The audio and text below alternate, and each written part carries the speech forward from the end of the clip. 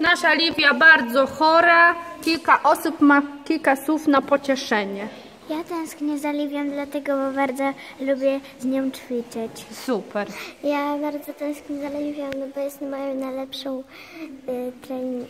Trenerką, super. Cześć Liwia, życzymy Ci zdrowia i bardzo nam Ciebie brakuje. No, tak. Siły zwłaszcza, nie?